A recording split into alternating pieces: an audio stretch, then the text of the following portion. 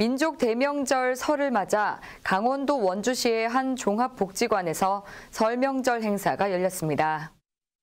지난 19일 강원도 원주시 양업 토마스 장애인 종합복지관에서 2023 설명절 행사가 열렸습니다.